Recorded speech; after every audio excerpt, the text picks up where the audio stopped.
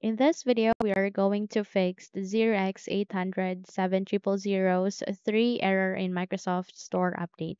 So without any further ado, let's get started. The first solution that you need to do is you need to go with the button search bar here and type for CMD.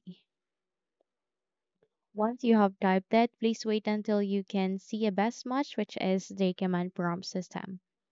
After which, you need to navigate to the right side and run it as an administrator.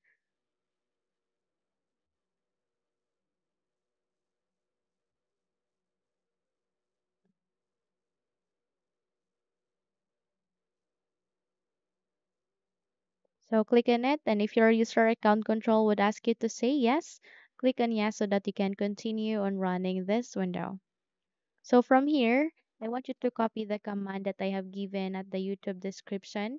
It is sfc space forward slash scan now. You need to copy and paste it here at the command prompt. Wait first until you can open the command prompt, which is this one, before we continue. So sfc space forward slash scan now click on the enter key in your keyboard.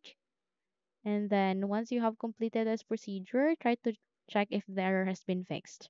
However, if not, you need to navigate to the second solution, and that is to press Windows key and R key together. In that way, you'd be able to open this small window called Run. Here, type for wsreset.exe and click on the OK button. So wait until this procedure would be finished and once you have completed this one, I want you to restart the PC and check if the error has been fixed, okay?